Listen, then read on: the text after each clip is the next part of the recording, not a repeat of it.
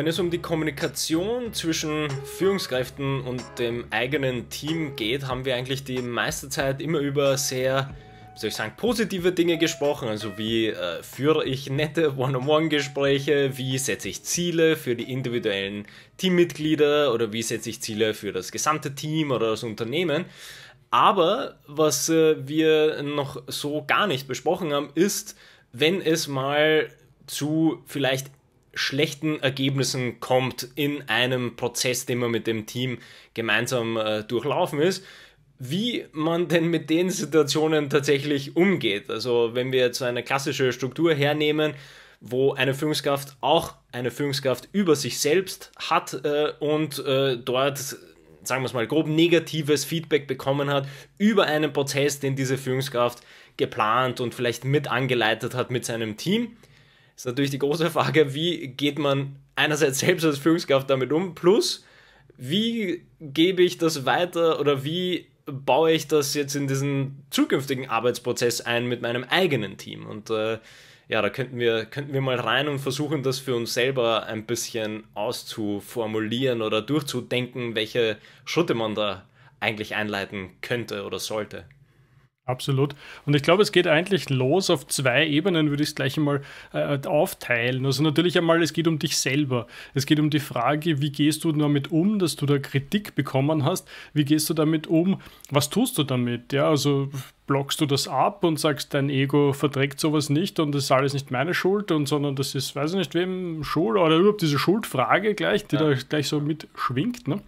Und auf der anderen Seite dann natürlich, du bist ja hoffentlich nicht dafür zuständig, äh, die ganze Arbeit aus dem Team zu machen. Dafür hast du ja deine Mitarbeiter.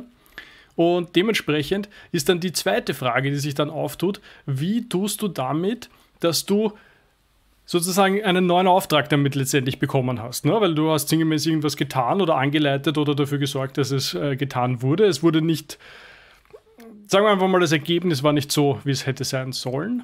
Und dann stellt sich natürlich die Frage, wie äh, richtest du jetzt sozusagen das Team auf dieses neue ähm, Verständnis aus, ne? damit eben in Zukunft dann dieses Ziel äh, entsprechend so erreicht wird, wie, wie sozusagen der Prozess zum Beispiel das vorsieht oder wie halt die Aufgaben gesteckt sind. Gibt es ja verschiedenste Möglichkeiten. Zurückkommen zum ersten, können wir vielleicht gleich da an Joko rübergeben und auch an dich gleich wieder. Ähm, ja, da hat er viel zu sagen natürlich über sich ja. selber und das Ego. Ja, ich glaube, da ist der, ich glaube, ein Stichwort, das wir oft genug sagen und das trifft ja in dem Fall, ist ja das Paradebeispiel für quasi Extreme Ownership wo du ja schon sehr schön diese Schuldfrage äh, quasi gebracht hast als Stichwort, wo es auch in, in Jokos Welt, und darüber reden wir ja auch sehr oft, also es muss, die Schuld ist primär immer bei einem selbst. Also man kann nicht äh, damit beginnen, dass man eine Kritik bekommt oder sagen wir es vielleicht sogar etwas neutraler, wenn man Feedback bekommt, kann man das nicht sofort irgendwie ähm, wie soll ich sagen, abblocken und sofort an andere Menschen, sei es jetzt das Team, was unter Anführungsstrichen unter einem steht und wie du es auch quasi dann in, in der zweiten Ebene gesagt hast, ja, die unter Anführungsstrichen falsch die Aufgaben gemacht hat, die man selber irgendwie angeleitet hat und dann kann ja das niederschmetternde Feedback gleich an die Menschen gehen mit, ja, übrigens, von oben hat es geheißen, ihr habt hier das falsch gemacht.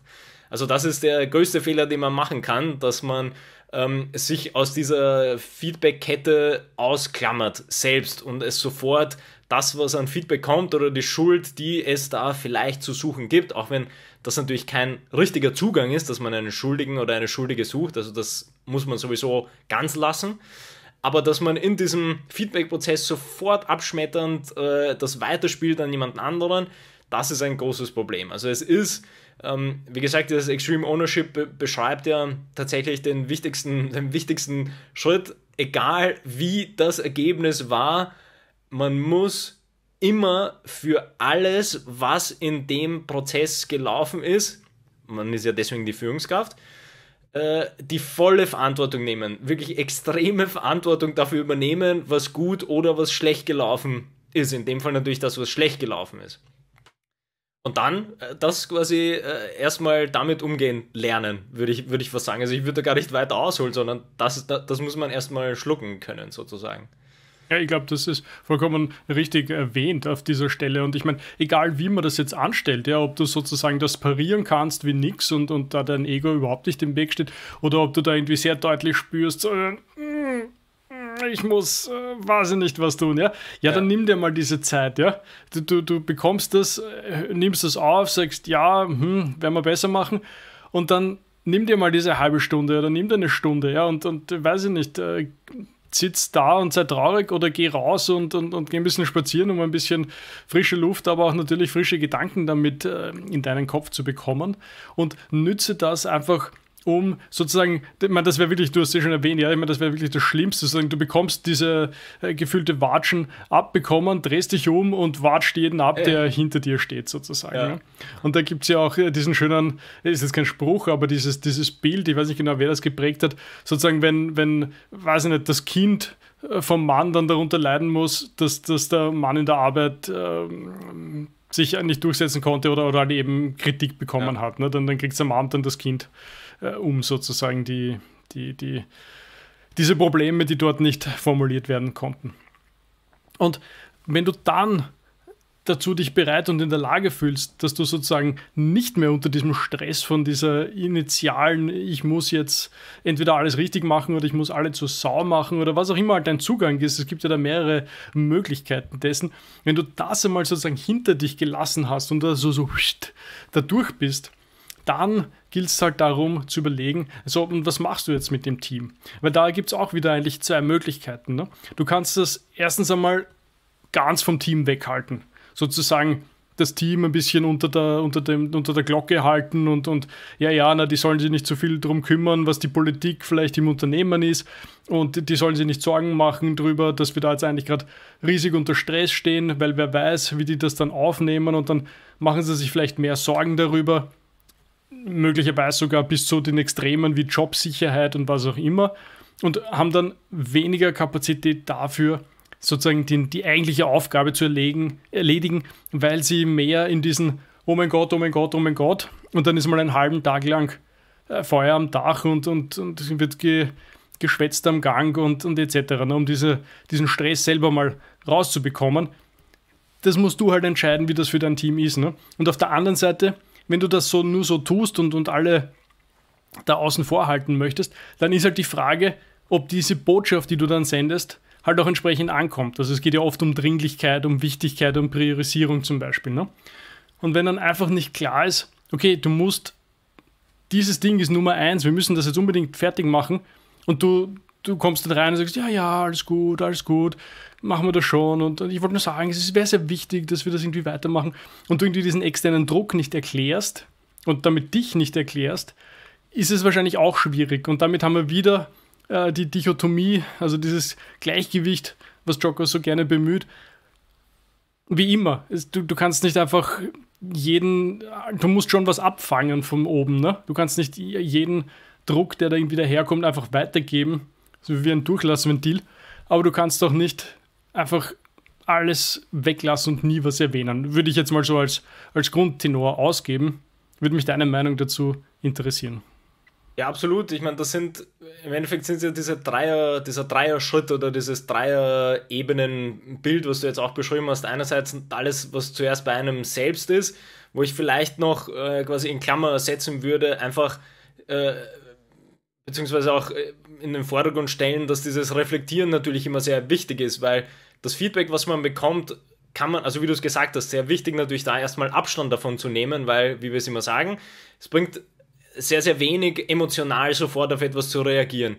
Das heißt, es ist auch, es ist auch nichts verloren, wenn man einen Tag nimmt, um das mal zu verarbeiten, weil man am nächsten Tag mit wirklich einem schön distanzierten Blick an das ganze Feedback tatsächlich rangehen kann. Falls man noch sage ich mal so, Probleme haben sollte, mit seinem Ego umzugehen, dass man das sofort persönlich nimmt, dann ist es ein Tag. Für andere, die schaffen das in einer halben Stunde, wie du es gesagt hast, man geht schön äh, um den Häuserblock, spaziert eine, eine, eine Runde und dann geht es wieder und dann baut man das auf. Was da quasi der abschließende Punkt ist, das ist etwas, das sollte man auch selber als Führungskraft raussuchen. Also es geht ja darum, dass man sich verbessert. Und es geht, das Feedback, was man bekommt von oben, wenn irgendwas nicht geklappt hat, bitte, das ist das Beste, was es geben kann, weil dann können wir uns verbessern, dann können wir in unserer Führungskompetenz besser werden, dann können wir unsere, in unserer Teammanagement besser werden, in unseren Prozessen besser werden. Und das ist keine, keine, keine Zeugnis für den Charakter des Menschen, Außer, in Klammer, das Feedback war auf, äh, auf die Kommunikation bezogen, die halt vielleicht zu aggressiv war oder zu persönlich. Dann ist klar, dass man vielleicht charakterlich oder äh, so arbeiten muss, aber an sich wird das Feedback, was man bekommt, auf den Prozess bezogen sein. Das heißt, dann kann man das ja auch so sehen und verarbeiten in seinen eigenen Führungsaufgaben. Das, das würde ich einmal damit abschließen, weil ich glaube, das ist sehr, sehr wichtig, dieses, dieses Ego-Thema vielleicht abzuschwächen. Das ist nicht, äh, davor muss man nicht Angst haben, wenn man tatsächlich Feedback bekommen sollte von oben. Ja, also das, das ist, glaube ich, ganz wichtig zu sagen. Ähm, die zwei Ebenen, die du gesagt hast, finde ich unheimlich spannend, weil, äh, wie du es wie auch sehr schön gesagt hast, Wender, das ist einfach diese Balance, ist unheimlich äh, spannend, die zu finden. Wie viel braucht denn mein Team an Feedback? Und wie viel können sie, das ist ein ganz, ganz wichtiger Punkt, den du erwähnt hast, wie viel können sie unter Anführungsstrichen ertragen, damit sie noch gut arbeiten können? Und das ist, glaube ich, auch so ein ganz, ganz wichtiger Punkt in, in, im eigenen Führungsverständnis, ist, dass man immer äh, dieses, dieses Abfangen sollte schon relativ oben auf der Liste sein für eine Führungskraft, weil ich möchte ja, dass mein Team so gut wie möglich arbeiten kann. Und dazu gehört tatsächlich alles mit effizient und effektiv arbeiten können. Das heißt, sie bekommen die richtigen Aufgaben, sie werden richtig angeleitet, sie werden an die richtigen Stellen gesetzt, aber auch in einem gewissen Rahmen, in dem sie nicht äh, mit Burnout enden, äh, in der Hälfte des Sprints sozusagen. Also man muss ja tatsächlich alles im Kopf behalten. Und das finde ich ein sehr schönes Bild, dass man das da irgendwie so ein bisschen abfangen möchte, ähm, wenn mal negatives Feedback kommen sollte. Das wäre mal ein Punkt, den ich auf jeden Fall unterstreichen würde. Ähm, das andere, was ich mir aber auch gedacht habe, was aber mehr so eine Unternehmenskulturfrage ist für mich, nämlich wie weit sind denn gemeinsame oder wie weit sind denn Zielprozesse mit dem Team geplant? da haben wir auch schon oft genug drüber gesprochen und das äh, sagt der Joko auch sehr oft, sehr gerne, dass er natürlich vom Team immer Feedback holt und sagt, wie würdest du es machen? Das möchte ich jetzt hören. Und dann kann man immer noch sagen, habe ich quasi so eingearbeitet oder nein, ich habe mich anders entschieden.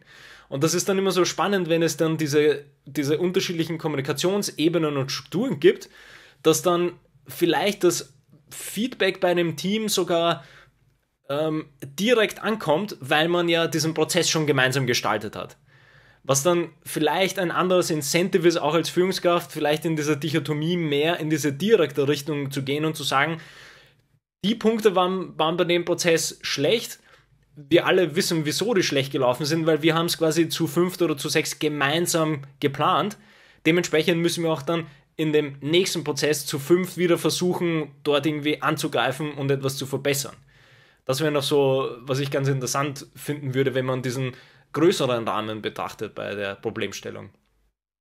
Ja, da, das da trifft äh, was Gutes bei mir, wo was, also was so noch ein offener Punkt ist bei mir, nämlich die Frage, möchtest du das eher so gemeinsam im Team beleuchten, wie du es gerade ausgeführt hast, oder ist es etwas, wo sich vielleicht auszahlt, eher so in dieses Einzelgespräch hineinzugehen und zu sagen, so, so ein bisschen auf Ursachenforschung zu gehen, so gar nicht, gar nicht zu sagen, eben nicht mit dem Zeigefinger zu sagen, du hast, du hast, sondern die Frage, wie hast du das verstanden, wie hast du das erlebt? Äh, und wie war es für dich? Und da erfährst du normalerweise sehr viel und bekommst viel zurück, wo dann zum Beispiel klar wird, ja, okay, mir war diese Priorität nicht bewusst. Und ja, ja deswegen haben wir einen Tag verloren, weil ich erst am späten Nachmittag verstanden habe, dass das Ding jetzt gerade das Allerwichtigste ist und hups, da war aber schon der ganze Tag fast um. Ne? Und darum haben wir da einen Tag verloren. Ne?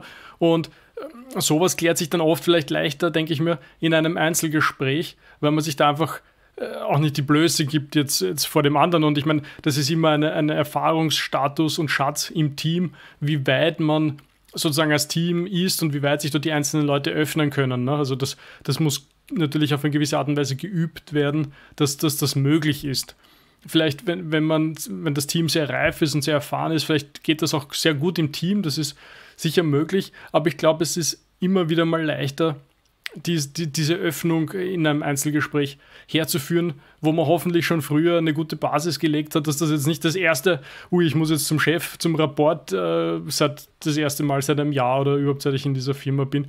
Und puh, was wird da jetzt passieren und, und äh, große Nervosität auf allen Seiten.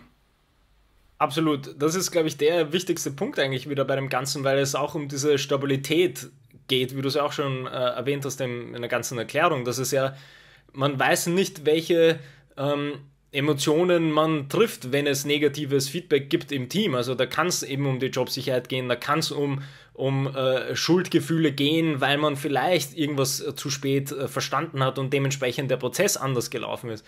Und da finde ich wieder, ähm, passend dazu, dass wir natürlich sehr oft die One-on-One-Gespräche als positiv herausheben.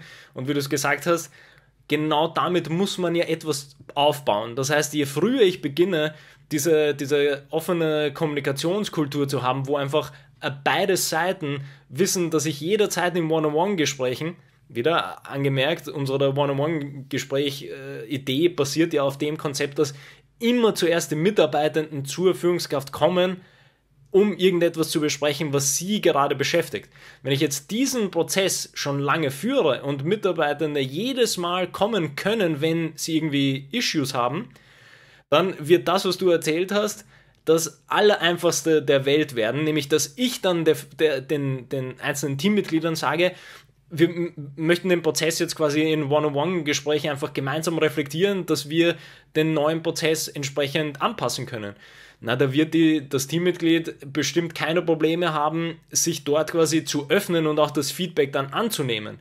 Und das finde ich fast sogar ähm, besser, als es im Team lösen zu müssen. Selbst wenn ich im Team den Prozess gestaltet habe, jetzt wie du es erklärt hast, denke ich mir, es ist eine viel, viel größere Nähe und Sicherheit da, wenn ich das in One-on-One-Gesprächen die Feedback-Prozesse gebe.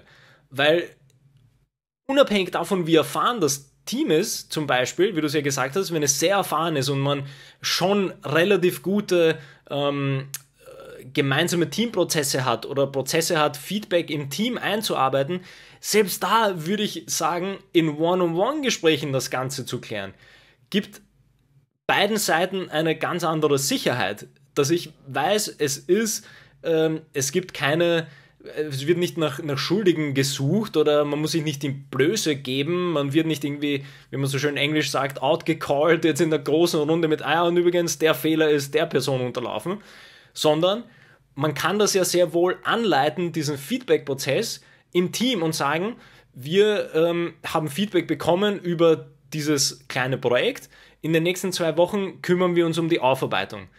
Und dann äh, manage ich meine One-on-One-Gespräche.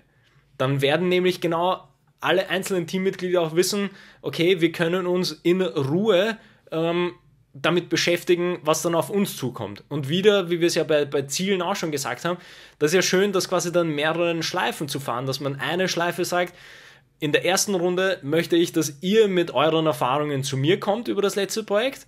Dann sprechen wir drüber und in der zweiten Runde komme ich mit meinem Erfahrungen oder meinem Feedback, das quasi von oben gekommen ist. Und dann versuchen wir im Abschlussprozess die Dinge zusammenzubringen.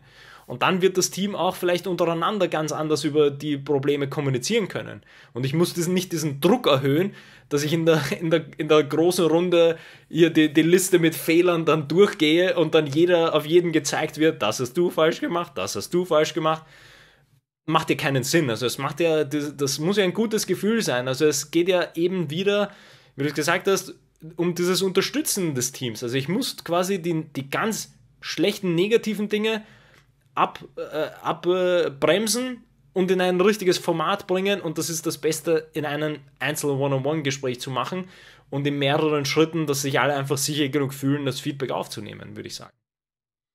Ja, das ist sehr schön und ich glaube, es ist ein guter Zeitpunkt, um vielleicht noch mal ein bisschen Übersicht zu geben und dann vielleicht den, den Kreis zu schließen, wo ich glaube, dass es noch wichtig ist. Also wir haben gesagt, du musst einmal für dich das annehmen und, und gesichtswahrend, ohne dort äh, zum Weinen gleich direkt anzufangen, das Nehmen, dein Ego beiseite lassen und dann dich der Teamseite widmen. Wie kannst du das umsetzen? Was dann, glaube ich, eben dieser wichtige noch Punkt ist, der wieder zurück uns führt zu dem Feedbackgeber, was in deinem Fall dein Vorgesetzter ist dann ist das dieser Punkt, okay, und was machst du jetzt dorthin?